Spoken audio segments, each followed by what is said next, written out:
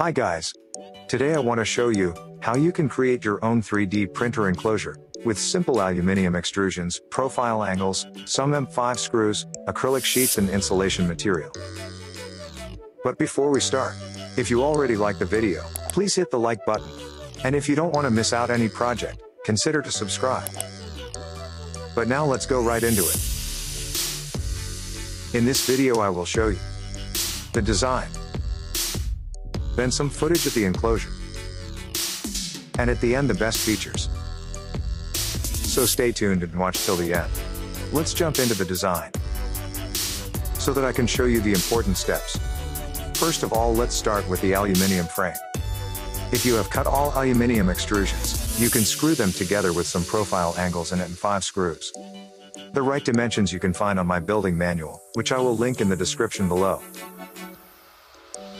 Next you will find all the different 3D printed parts that are mounted on the frame.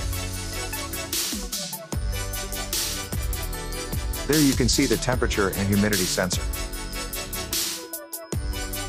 The door handles.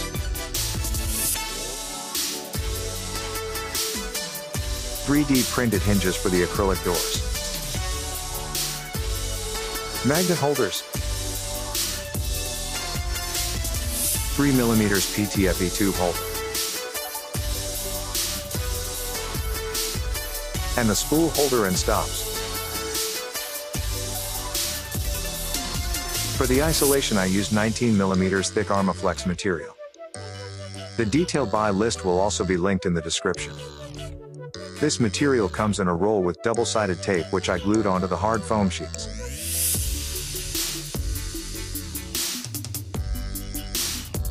I used 3mm hard foam sheets, and 5mm acrylic sheets. As I said before, the exact dimensions you will find in the building manual. I carefully drilled a few holes in the foam sheets, and screwed them down with M5 screws and additional T-nuts. For the sealing in the middle of the two acrylic doors, I used an 4x6mm PVC tube, to make sure that no hot air is going out of the enclosure. Also for the rest of the door insulation, I used a double-sided 5mm EPDM foam so that the doors are also sealed on the sides. The insulation is very important, because this is the main reason why we are building a 3D printer enclosure. To keep the hot air inside to prevent prints with ABS or other engineering plastics, In my design I also placed a smoke detector, but later on you will see that I used a different one.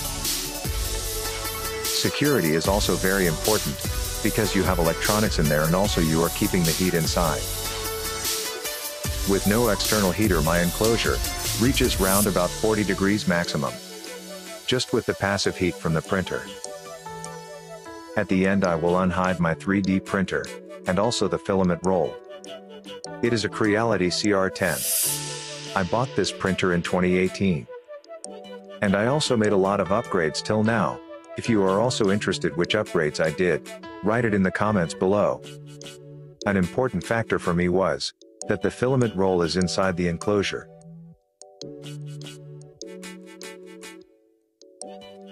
Last you can see the space, where all cables are going out of the enclosure.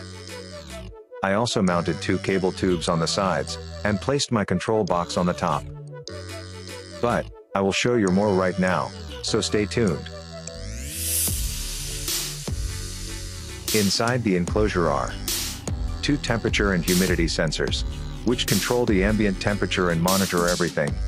I also have a smoke detector outside, which is integrated in my smart home system, which can notify me remote, or basically when I'm not at home. I also have a camera in my enclosure, which is integrated in my Octoprint system to let me monitor my prints on the smartphone or when I'm sitting next to my computer.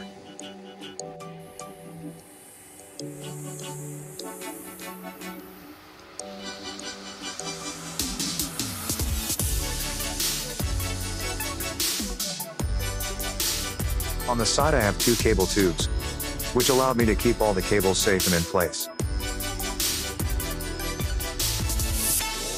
At the top of the enclosure I have the CR10 control box, and also the Raspberry Pi, where Octoprint is running. For my last project I also used a ESP32 to control my LED setup in the enclosure.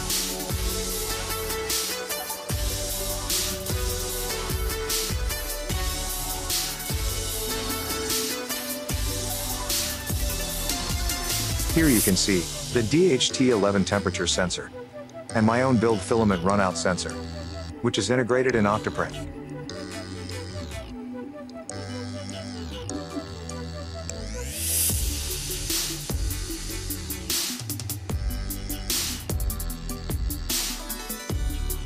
I also designed my own door snapping system with magnets.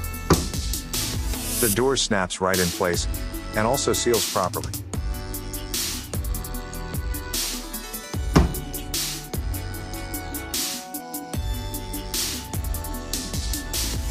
Here you can see my filament guide system. To keep the filament runout sensor in place and also guides the filament, so that the filament comes from above. There is also my second smoke detector inside the enclosure, to be on the safe side.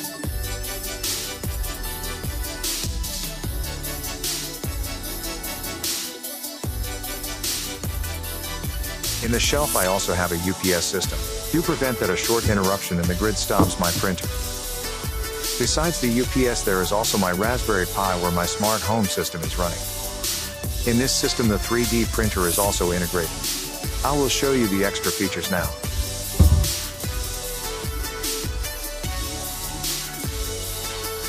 Finally, let's jump into the features and security options. Here you can see the overview of my Home Assistant site where I track everything of the prints, besides Octoprint. These informations are coming from Octoprint. So basically, if the printer is printing or not.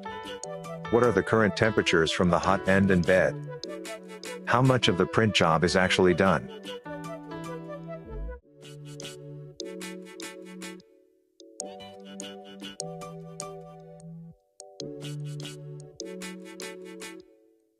You can see the current values of the smart smoke detector.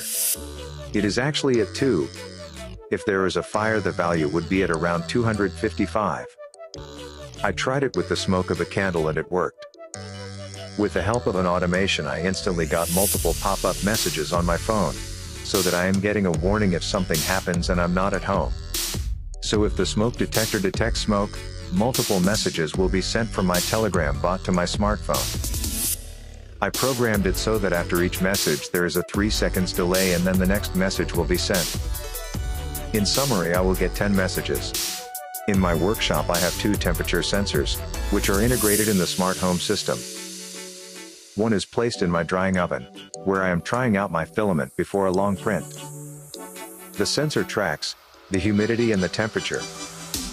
And the second one are actually in the 3D printer enclosure, you can see exactly when I started a print.